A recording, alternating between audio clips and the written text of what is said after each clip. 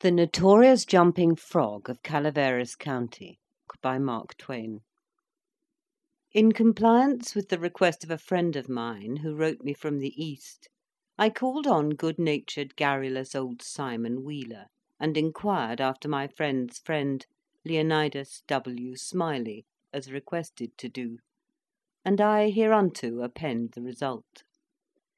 I have a lurking suspicion that Leonidas W. Smiley is a myth; that my friend never knew such a personage; and that he only conjectured that, if I asked old Wheeler about him, it would remind him of his infamous Jim Smiley, and he would go to work and bore me nearly to death with some infernal reminiscence of him, as long and tedious as it should be useless to me. If that was the design, it certainly succeeded. I found Simon Wheeler dozing comfortably by the bar room stove of the old dilapidated tavern in the ancient mining camp of Angels; and I noticed that he was fat and bald headed, and had an expression of winning gentleness and simplicity upon his tranquil countenance. He roused up, and gave me good day. I told him a friend of mine had commissioned me to make some inquiries about a cherished companion of his boyhood, named Leonidas W. Smiley Reverend Leonidas W. Smiley a young minister of the Gospel, who, he had heard, was at one time a resident of Angel's Camp. I added that, if Mr. Wheeler could tell me anything about this Reverend Leonidas W. Smiley, I would feel under many obligations to him. Simon Wheeler backed me into a corner, and blockaded me there with his chair, and then sat me down and reeled off the monotonous narrative which follows this paragraph. He never smiled, he never frowned, he never changed his voice from the gentle flowing key to which he tuned the initial sentence, he never betrayed the slightest suspicion of enthusiasm, but all through the interminable narrative there ran a vein of impressive earnestness and sincerity, which showed me plainly that, so far from his imagining that there was anything ridiculous or funny about his story, he regarded it as a really important matter, and admired its two heroes as men of transcendent genius in finesse. To me, the spectacle of a man drifting serenely along through such a queer yarn without ever smiling was exquisitely absurd. As I said before, I asked him to tell me what he knew of Reverend Leonidas W. Smiley, and he replied as follows. I let him go on in his own way, and never interrupted him once. There was a fellow here once by the name of Jim Smiley, in the winter of forty nine or maybe it was the spring of fifty, I don't recollect exactly, somehow; though what makes me think it was one or the other is because I remember the big flume wasn't finished when he first came to the camp. But anyway, he was the curiousest man about always betting on anything that turned up you ever see, if he could get anybody to bet on the other side; and if he couldn't, he'd change sides. Any way that suited the other man would suit him; any way just so's he got a bet, he was satisfied. But still he was lucky, uncommon lucky; he most always come out winner. He was always ready and laying for a chance. There couldn't be no solitary thing mentioned but that feller'd offer to bet on it, and take any side you please, as I was just telling you. If there was a horse race, you'd find him flush, or you'd find him busted at the end of it. If there was a dog fight, he'd bet on it; if there was a cat fight, he'd bet on it; if there was a chicken fight, he'd bet on it; why, if there was two birds setting on a fence, he would bet you which one would fly first; or if there was a camp meeting, he would be there regular, to bet on Parson Walker, which he judged to be the best exhorter about here. And so he was too, and a good man. If he ever seen a straddle bug start to go anywheres, he would bet you how long it would take him to get wherever he was going to; and if you took him up, he would follow that straddle bug to Mexico but what he would find out where he was bound for, and how long he was on the road. Lots of the boys here has seen that Smiley, and can tell you about him. Why, it never made no difference to him. He would bet on anything, the dangdest feller. Parson Walker's wife laid very sick once for a good while, and it seemed as if they weren't going to save her. But one morning he come in, and Smiley asked how she was, and he said she was considerable better, thank the Lord for his infinite mercy, and coming on so smart that with the blessing of Providence she'd get well yet. And Smiley, before he thought, says, "Well, I'll risk two and a half that she don't, anyway." This here Smiley had a mare. The boys called her the fifteen minute nag, but that was only in fun, you know, because, of course, she was faster than that. And he used to win money on that horse, for all she was so slow, and always had the asthma, or the distemper, or the consumption, or something of that kind. They used to give her two or three hundred yards start, and then pass her under way; but always at the fag end of the race she'd get excited and desperate like, and come cavorting and straddling up and scattering her legs around limber, sometimes in the air, and sometimes out to one side amongst the fences, and kicking up more dust, and raising more racket with her coughing and sneezing and blowing her nose and always fetch up at the stand just about a neck ahead, as near as you could cipher it down. And he had a little small bull pup, that to look at him you'd think he wasn't worth a cent, but to set around and look ornery and lay for a chance to steal something. But as soon as money was up on him, he was a different dog. His under jaw'd begin to stick out like the forecastle of a steamboat, and his teeth would uncover and shine savage like the furnaces. And a dog might tackle him, and bullyrag him, and bite him, and throw him over his shoulder, two or three times.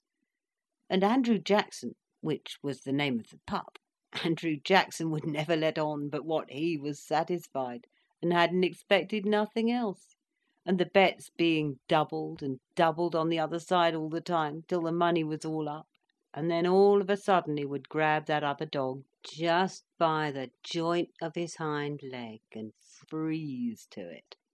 Not chew, you understand, but only just grip and hang on till they throwed up the sponge, if it was a year. Smiley always come out winner on that pup, till he harnessed a dog once that didn't have no hind legs, 'cause they'd been sawed off by a circular saw, and when the thing had gone along far enough, and the money was all up, and he come to make a snatch for his pet holt, he saw in a minute how he'd been imposed on, and how the other dog had him in the door, so to speak, and he peered surprised, and then he looked sort o' discouraged like, and didn't try no more to win the fight, and so he got shucked out bad. He give Smiley a look, as much as to say his heart was broke, and it was his fault for putting up a dog that hadn't no hind legs for him to take holt of, which was his main dependence in a fight, and then he limped off a piece and laid down and died. He was a good pup, was that Andrew Jackson, and would have made a name for hisself if he'd lived, for the stuff was in him, and he had genius. I know it, 'cause he hadn't had no opportunities to speak of and it don't stand to reason that a dog could make such a fight as he could under them circumstances if he hadn't no talent. It always makes me feel sorry when I think of that last fight of his'n, and the way it turned out. Well, this here Smiley had rat terriers and chicken cocks, and tom cats, and all them kind of things, till you couldn't rest, and you couldn't fetch nothing for him to bet on but he'd match you. He ketched a frog one day, and took him home, and said he calculated to educate him; and so he never done nothing for three months but set in his back yard and learn that frog to jump. And you bet he did learn him too. He'd give him a little punch behind, and the next minute you'd see that frog whirling in the air like a doughnut. See him turn one somerset, or maybe a couple, if he got a good start and come down flat-footed and all right, like a cat. He got him up so in the matter of catching flies, and kept him in practice so constant that he'd nail a fly every time as far as he could see him. Smiley said all a frog wanted was education, and he could do most anything, and I believe him.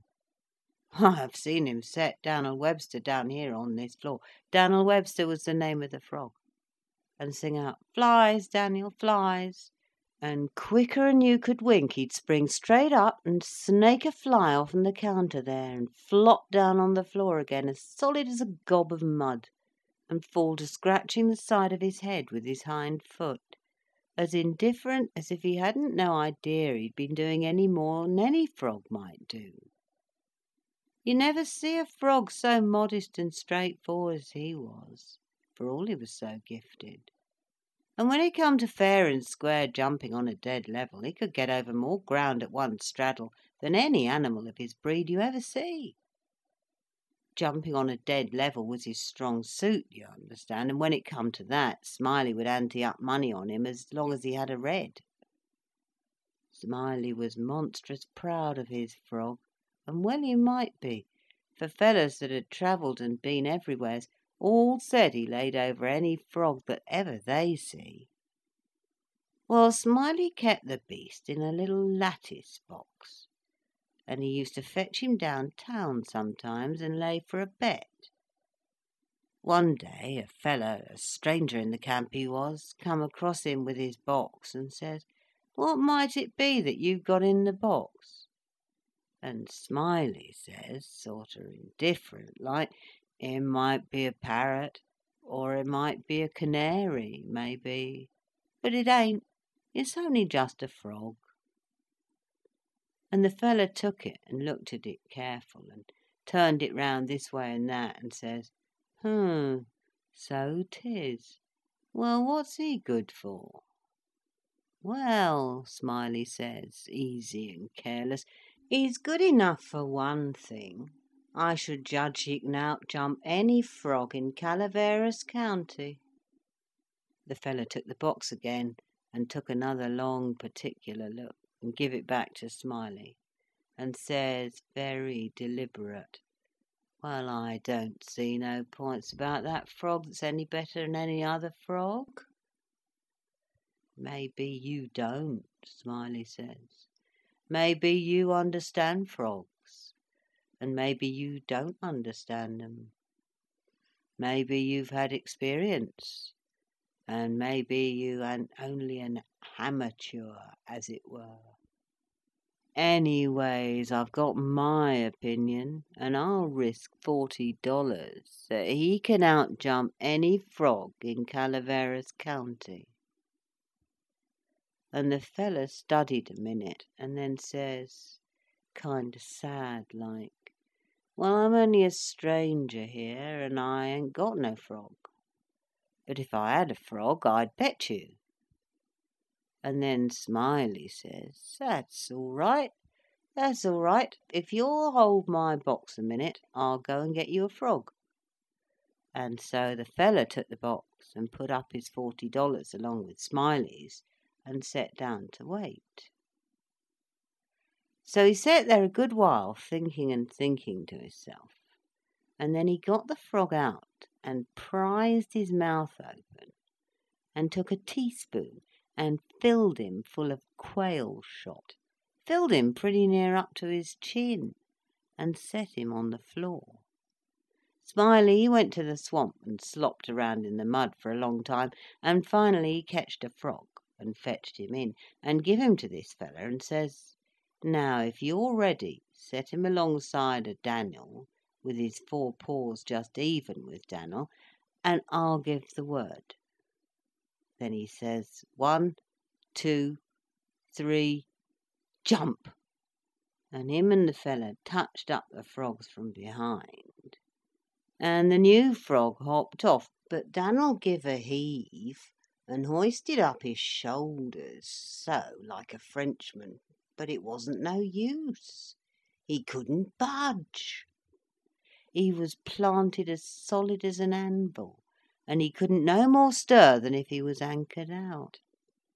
Smiley was a good deal surprised, and he was disgusted too, but he didn't have no idea what the matter was, of course. The feller took the money and started away, and when he was going out at the door, he sort of jerked his thumb over his shoulders, this way, at Dan'l, and says again, very deliberate, "Well, I don't see no points about that frog that's any better'n any other frog." Smiley, he stood scratching his head and looking down at Dan'l a long time, and at last he says, "I do wonder what in the nation that frog throwed off for. I wonder if there an't something the matter with him. He He 'pears to look mighty baggy, somehow." And he ketched Dan'l by the nap of the neck, and lifted him up, and says, "Why, blame my cats if he don't weigh five pound!" and turned him upside down, and he belched out a double handful of shot. And then he see how it was, and he was the maddest man, he set the frog down and took out after that feller, but he never ketched him. And here Simon Wheeler heard his name called from the front yard, and got up to see what was wanted; and turning to me as he moved away, he said, "Just set where you are, stranger, and rest easy. I ain't going to be gone a second." But, by your leave, I did not think that a continuation of the history of the enterprising vagabond Jim Smiley would be likely to afford me much information concerning the Reverend Leonidas W. Smiley, and so I started away. At the door I met the sociable Wheeler returning, and he buttonholed me and recommenced. Well, this here Smiley had a yaller one eyed cow that didn't have no tail, only just a short stump like a banana, and "Oh, hang Smiley and his afflicted cow!" I muttered good naturedly, and bidding the old gentleman good day, I departed. Now let the learned look upon this picture and say if iconoclasm can further go. End of The Notorious Jumping Frog of Calaveras County. Recording by Ruth Golding.